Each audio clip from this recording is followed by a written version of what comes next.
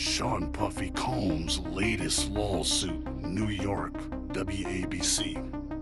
Thalia Graves was 25 years old and dating an executive at Bad Boy Records in 2001 when she was summoned to a meeting with Sean Combs, who R her after she was slammed face down onto a pool table by an associate, Joseph Sherman, according to a lawsuit filed Tuesday in New York.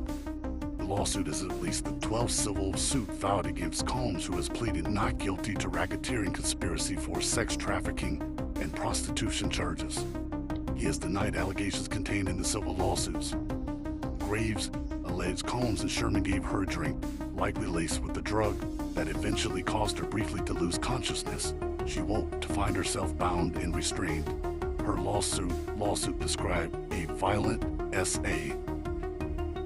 Plaintiff could not believe that the defendants would record themselves committing such a gruesome crime and then proceeded proudly and widely to disseminate the recording of it. She was distraught, distraught and sunk into a deep depression, the lawsuit said.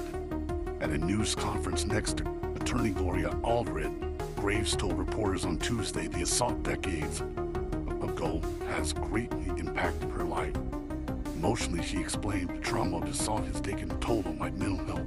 I have PTSD, depression, and anxiety, and emotionally scarred. It's been horrible.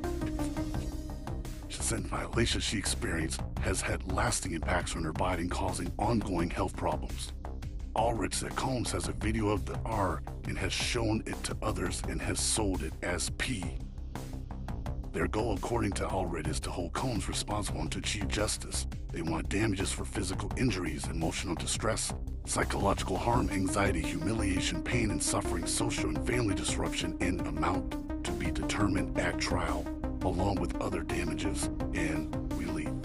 Latest on Sean Puffy Combs. You going down, guy. You going down, and you deserve it, guy.